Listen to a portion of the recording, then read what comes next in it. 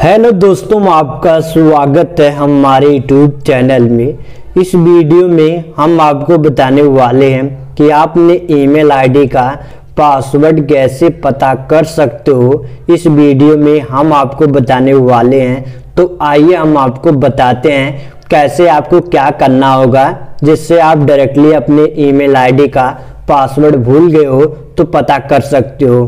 तो आइए हम आपको बताते हैं कैसे आपको क्या प्रोसेस करना होगा तो इसके लिए आपको अपने यूट्यूब को ओपन कर लेना होगा। जैसे देख सकते हैं, हमने अपने यूट्यूब को यहाँ से ओपन कर लिया। ओपन करने के बाद आप में कुछ इस तरह का ऑप्शन आप में देखने को आ जाएगा। इसके बाद आपको यहाँ पर प्रोफ़ाइल वाले ऑप्शन पर क्लिक करना है और जिस भी ईमेल आईडी का आपको पासवर्ड चेंज करना चाहते हैं उस ईमेल आईडी को आपको डायरेक्टली सेलेक्ट कर लेना होगा। तो चलिए हमने इस ईमेल आईडी का जो पासवर्ड है चेंज करना चाहते हैं तो हमने इस ईमेल आईडी को सेलेक्ट कर लिया।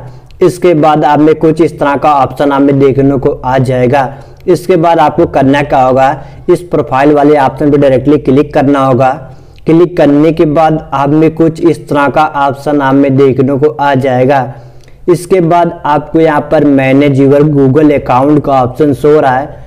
तो इस वाले ऑप्शन पर आपको डायरेक्टली क्लिक करना होगा।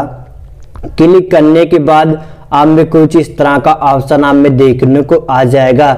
इसके बाद आपको यहाँ पर पर्सनल इनऑप का ऑप्शन शो रहा है। तो इस वाले ऑप्शन पर आपको डायरेक्टली सेलेक्ट कर लेना होगा। सेलेक्ट करने के बाद आप में कुछ इस तरह का ऑप्शन देखने को आ जाएगा। इसके बाद आपको यहाँ पर नीचे स्वाइप करना है। इसके बाद आपको यहाँ पर पासवर्ड लिखा हुआ आ जाएगा। इसके बाद आपको इसी वाले ऑप्शन पर आपको क्लिक करना होगा। क्लिक करने के बाद आप में देख सकते हैं, आपको वेट करना है। देख सकते हैं, इसके बाद आप में कुछ इस तरह का ऑप्शन आप में देखने को आ जाएगा।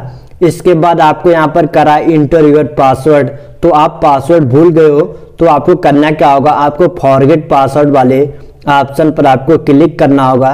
चलिए फॉरगेट पासवर्ड वाले ऑप्शन पर हम यहाँ पर क्लिक कर देते हैं। क्लिक करने के बाद आप कंटिन्यू वाले ऑप्शन पर क्लिक करना है। यदि आपके मोबाइल में लॉक लगा है जो भी, उस लॉक को आपको डायरेक्टली आपको पासवर्ड डाल के खोल लेना है। तो चलिए अपने मोबाइल का हम पासवर्ड डाल को यहाँ से ओपन कर लेते हैं। ये सिक्योरिटी के लिए यहाँ पर आपका पासवर्ड माँगता है। कोई दूसरा उपयोग नहीं कर रहा, इसीलिए आपको यहाँ पर मोबाइल का पैटर्न और पासवर्ड माँगता है। तो आपको खोल लेना है। इसके बाद आप में कुछ इस तरह का ऑप्शन आप में देखने को आ जाएगा। इसके बाद आपको करना क्या होगा, आपको यहाँ पर स्किप का ऑप्शन दिख रहा है। इस वाले ऑप्शन पर आपको डायरेक्टली क्लिक करना होगा। जैसे देख सकते हैं, हमने इस वाले ऑप्शन पर क्लिक कर दिया। क्लिक करने के बाद आपको वेट करना है। स्कीप वाले ऑप्शन पर क्लिक करने के बाद आप में देख सकते हैं, इस तरह का ऑप्शन आप में देखने को आ जाएगा। इसके बाद आपको करने का होगा? आपने एक अंक का आपको पासवर्ड क्रिएट करना है। तो चलिए अपने हम पासवर्ड को क्रिएट कर लेते हैं, फिर हम आपको बताते हैं।